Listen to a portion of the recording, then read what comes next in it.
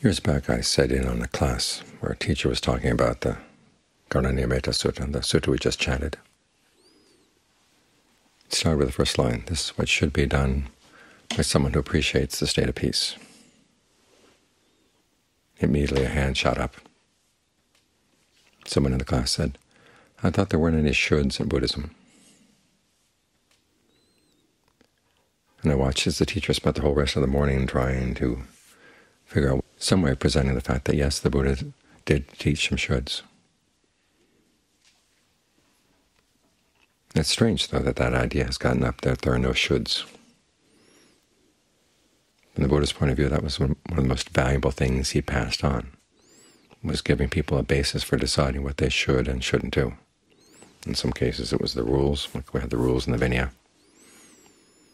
In other cases, more general principles about how certain actions lead to happiness and other actions lead to long-term suffering. Based on that, you can decide. It gives you principles for deciding. And he attacked any teaching that would not provide you with those principles. So the shoulds are really important. You see them from the very beginning, Four Noble Truths. Each truth has a duty. Suffering is to be comprehended. Its cause is to be abandoned. Its cessation is to be realized, and the path to cessation should be developed. If you appreciate the state of peace, in other words, you believe that the cessation of suffering is something that really is worth going for. Here the shoulds come in again. I was talking the other day with an editor of a Buddhist magazine, saying he thought that the Four Noble Truths were just kind of an introductory teaching to get you interested in what the real issue is. is in Theravada we talk about things being constant, stressful, and not self, and he said that's what the real meat of the teaching is. The Mahayana version would be the teaching on emptiness and interconnectedness. But those teachings don't carry any shoulds. You say everything is inconstant. You think, especially if you interpret not self as being no self, there's no basis for deciding anything at all. Who's going to benefit? Nobody's going to benefit from putting in extra effort. It undercuts any idea that anything can be done, anything can be accomplished.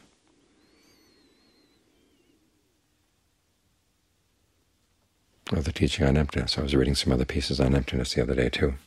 It was all about how emptiness means that everything is possible. There are no constraints, but there are also no shoulds. They try to temper that by saying we have to be compassionate and realize that we're all interconnected. But look at interconnectedness. As the Buddha said, interconnection basically comes down to feeding. All the interconnected systems we have in the world, it's not that they're designed for the good of everybody.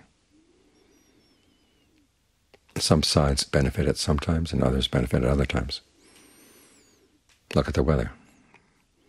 When we're having a nice rainy winter here, a reasonably rainy winter, other places are getting flooded out.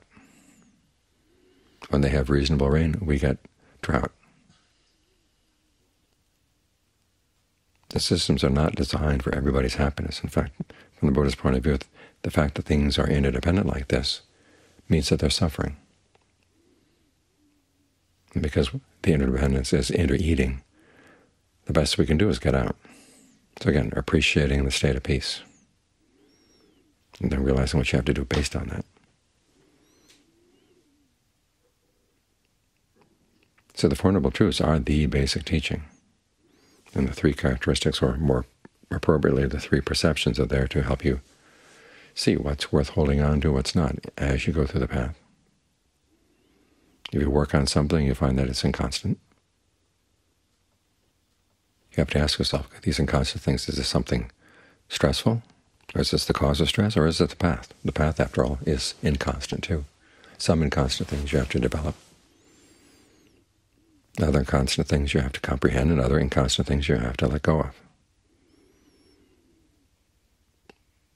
And the shoulds here are the Buddha's important gift. Now, he's not a God telling us what we have to do, but his truths are conditional. If if you want the state of peace, this is what you got to do. If you want the cessation of suffering, this is what you got to do.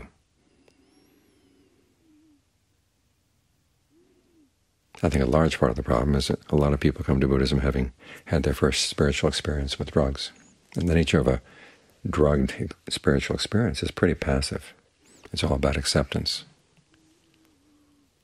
Just let go and everything is really already wonderful. Which may be good when you're on drugs, but we can't go around and we can't live that way. We can't function that way. We're acting in the world. We have to realize that the mind is not passive. When you start being passive for a while like that, you can do it only for a little bit of time. Then you've got to get active again. And look what happens to people who are hooked on drugs. Anything. They'll do anything in order to get that drug experience again. This is where the ugly side of the the eating nature of the mind comes out. When you look for your happiness based on something that's impermanent like that. So you have to realize the Buddha's vision begins with something utterly different, realizing the importance of your actions. We're all looking for happiness, and we're all going to have to be proactive in doing it. The question is, how can you do it in such a way that you're not harming yourself, not harming others, because you do want your happiness to be long-term.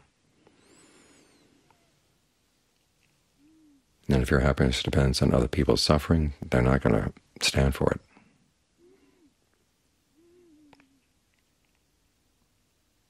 So all the Buddha shoulds come down to the Four Noble Truths. That's his basic teaching. And the shoulds are his gift to us, pointing out this is how action works. This is how the mind works. These are the ins and outs of true happiness. Again, he's not forcing us. It's a question of what we take on of our own free will. But he's provided a map. A map to true happiness. And said this is the route, this is how it's followed. This is why he called it a path. It doesn't cause true happiness, the actions, but they do lead you there. In particular, they develop the sensitivity of the mind so you can see where in the mind is something of real, real value.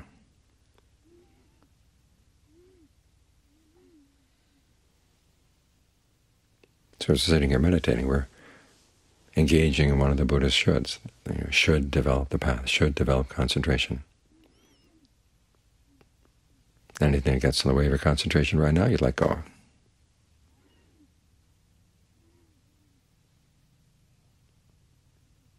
And when we do this, we find that we benefit. That's what the whole purpose of the teaching is. The Buddhist teachings are strategic. They're meant to bring people to that goal. It's not just a description of the goal or a description of the path. And the wise way of responding to the Buddhist teachings is to take on the path and follow the duties. This is why Ajaan Lee, when he's talking about mindfulness and the different qualities that you bring to mindfulness, says that ardency is the wisdom factor as you develop mindfulness in order to bring about concentration. Realizing that the teachings are there to be followed.